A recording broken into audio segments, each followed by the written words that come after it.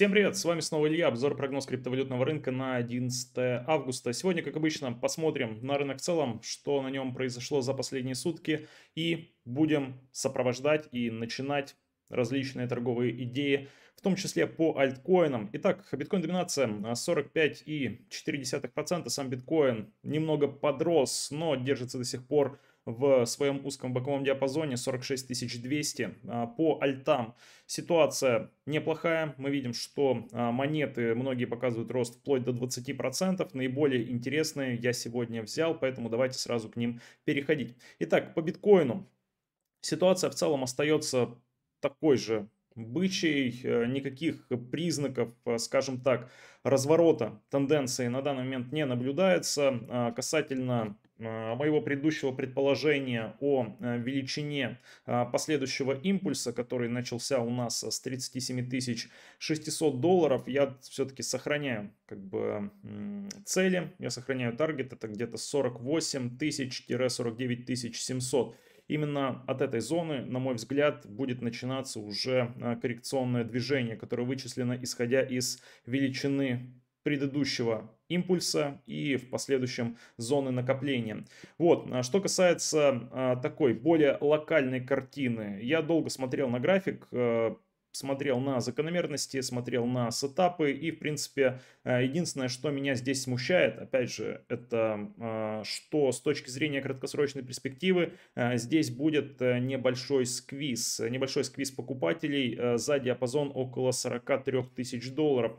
Смотрите, здесь два, два или даже три фактора, я бы, наверное, сказал, указывают на это. Прежде всего, это так называемая консолидация после пробоя уровня. То есть, видите, у нас э, был уровень, э, цена этот уровень пробила. Как правило, в последующем быки должны подключаться и, в принципе, дальше продавливать цену. Но если этого не происходит сразу же, а цена уходит в консолидацию, то это нередко говорит о том, что сейчас будет небольшой сброс покупателей, которых как раз-таки в этом боковом диапазоне заманили. А плюс мы видели подобную картину вот здесь, также, если вы посмотрите на 4-часовой график, у нас наблюдается дивергенция, но это как бы самый такой а, второстепенный фактор. А, в связи с чем а, самое страшное, на что здесь можно рассчитывать, но с другой стороны дающее нам возможность зайти в краткосрочный лонг, это опять же, вот смотрите, в предыдущий раз цена сначала сбила продавцов и впоследствии пошла уже бить покупателей за вот этот вот минимум. Поэтому сейчас цена может вырасти не намного. И в последующем как раз бить вот этих вот покупателей. Здесь очень сильный уровень и здесь большое количество стопов, поэтому эти стопы могут подбрить. Э, на мой взгляд, это хорошая возможность будет для того, чтобы э, взять здесь лонг-позицию с небольшим стоп-лоссом, где-то ниже 42 тысяч долларов, э, и, в общем-то, проторговать эту ситуацию в краткосроке.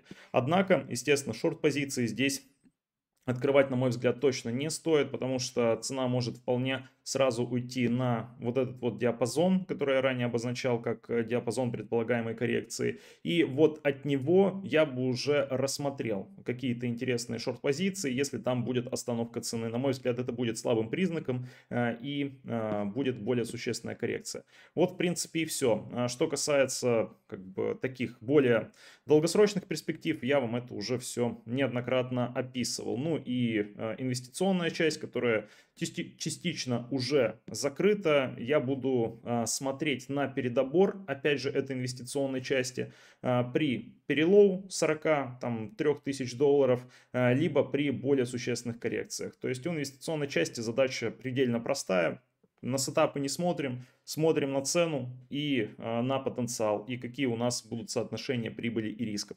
Вот, идем дальше, давайте перейдем к эфиру. Э, я, кстати, напоминаю, что все котировки я беру с биржи Binance, сам торгую на бирже Binance, и вы можете в описании найти ссылки, где по которым зарегистрироваться и получить максимальный кэшбэк на комиссию 20% на спот и 10% на фьючерсы. Давайте перейдем к эфиру, посмотрим, что у нас здесь, что получилось, что нет. Так, Значит, э, это дело мы все удаляем. Здесь была идея взять после перелоу но, видите, такого перелова не произошло, цена остановилась э, до уровня, поэтому тут ничего интересного. При этом цена пробила э, такие уровень, вот этот вот красный, вот эту вот красную зону. Первый раз, правда, ложно и вынесли всех лишних покупателей, но сейчас, э, в принципе, мы видим, что э, цена уже довольно долго проторговывается и также закрепляется выше диапазона. Скажем так, это не тот предел мечтаний, на который э, я рассчитывал для того, чтобы открывать лонг-позицию, потому что все-таки при пробое какого-то сильного уровня, если э, этого продавца разобрали, то впоследствии начинается импульсное движение. Импульсное движение довольно быстрое и сильное. Здесь мы этого не видим. Мы видим, что цена, она э, все пытается как-то обмануть то покупателей, то продавцов. И это довольно тревожный признак. Поэтому, если вы брали на пробое, я бы здесь просто перенес на безубыток э, эту сделку и дожидался дальнейшей развязки. А сама же цель, я напоминаю, сетапа это 3400, 3500. А в остальном, а, в принципе, никаких изменений. Здесь еще и, видите, под подозрением биткоин, а, которого который такой более нейтральный уже, менее побычий настроен, чем когда цена была у нас перед уровнем. Поэтому сейчас он еще тоже может оказать дополнительное давление в этом плане, в связи с чем как бы вот такая страховка и перенос стоп-лосса на безубыток. Ripple вот действительно удивляет неплохой рост он демонстрирует. Не удалось нигде зайти, ну, по крайней мере, мне. Точнее, мне удавалось зайти до этого, но я его закрыл раньше времени, э, как уже сейчас выяснилось. Но вместе с тем я считаю, что это правильное решение, потому что на тот момент он выглядел слабее э, всего рынка. Сейчас я смотрю, э, я смотрел на Ripple по отношению к биткоину. Опять же, вот возникновение альт-сезона как такового, да, и вообще все, что с ним связано, это, на мой взгляд, хорошо прослеживается именно на графике к биткоину.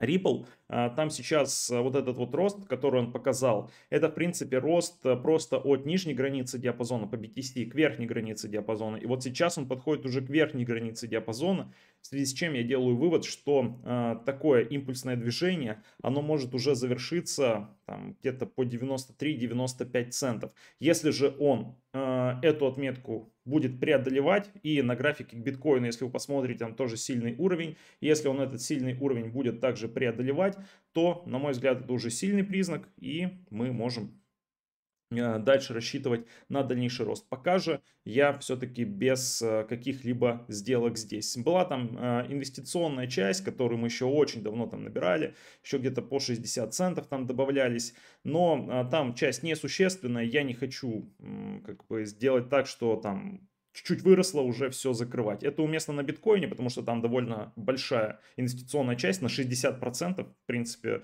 всей инвестиционной части.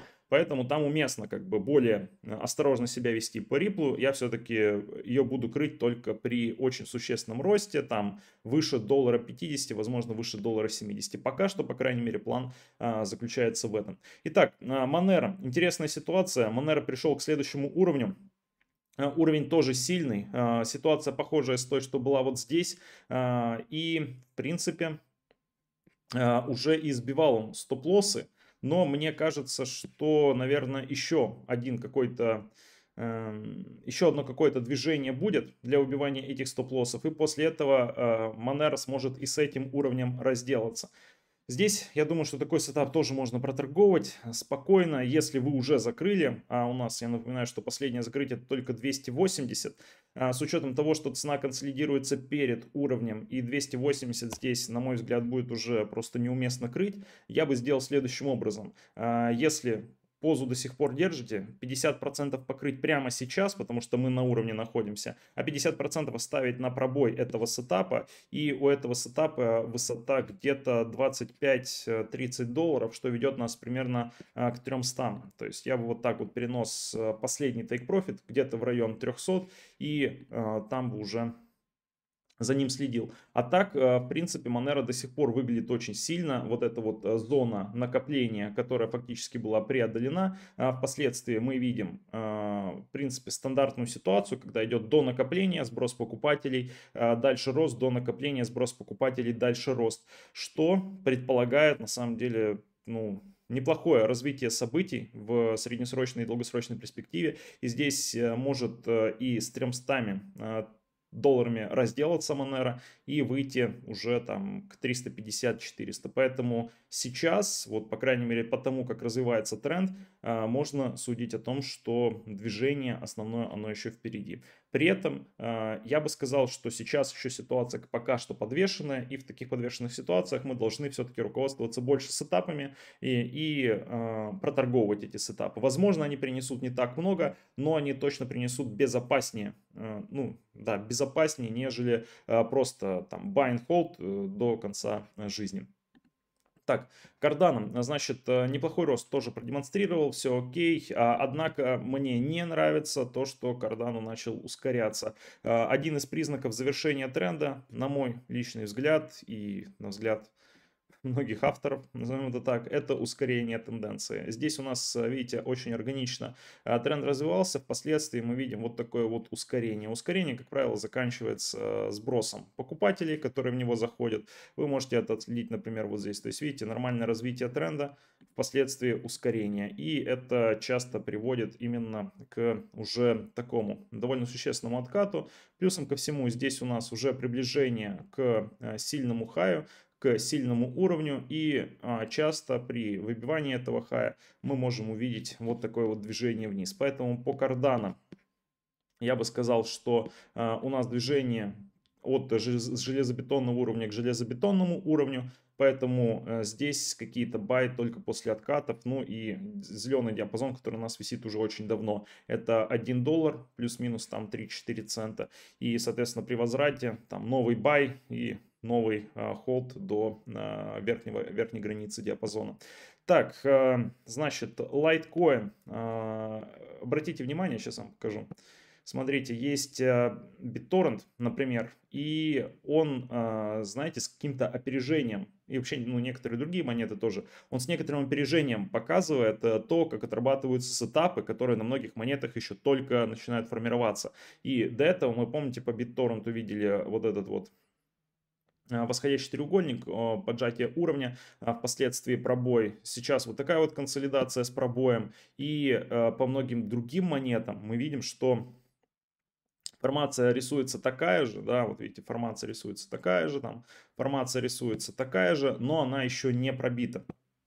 В связи с чем я думаю, что этот пробой, он будет э, все-таки, он состоится, и э, цена э, как бы дальше ускориться. Сейчас а, с учетом вот этого вот хая, с учетом такого небольшого сброса, может быть какая-то коррекция, но впоследствии Light выглядит, опять же, достаточно сильно, сильно наравне с э, другими монетами. И в отличие, например, от э, того же кардана, а, он пока что никакого ускорения движения не демонстрирует. Он держится вокруг, а, в принципе, такой средней по развитию тренда никуда от нее не отходит далеко, то есть то чуть слабее выглядит, то чуть сильнее, но тренд развивается достаточно органично. Поэтому я думаю, что у Лайта э, здесь перспектив еще остается чуть побольше. А вот уже на ускорении движения, если таковое будет, здесь уже следует рассматривать какое-то какое закрытие позиций. Вот, а что касается, давайте это все закроем. А что касается потенциальных точек входа, ну, здесь э, для краткосрока а, подходит, на мой взгляд, только цена около 156-160. Э, и идея здесь заключается в коррекции по BTC и Light, в свою очередь, чтобы тоже выбил вот этот вот low. И далее уже, я думаю, что можно такой long э, открывать более безопасно. Если по долгосроку, то точка входа нас здесь должна волновать, конечно же, меньше. Вот Такая ситуация на текущий момент времени. Я напоминаю вам, что криптовалютный рынок является рынком с высокими рисками. Ни в коем случае не инвестируйте за то, что вы не готовы потерять. Всегда формируйте несколько альтернативных точек зрения. Свое торговое решение принимайте самостоятельно. Я с вами прощаюсь. Всего хорошего и пока.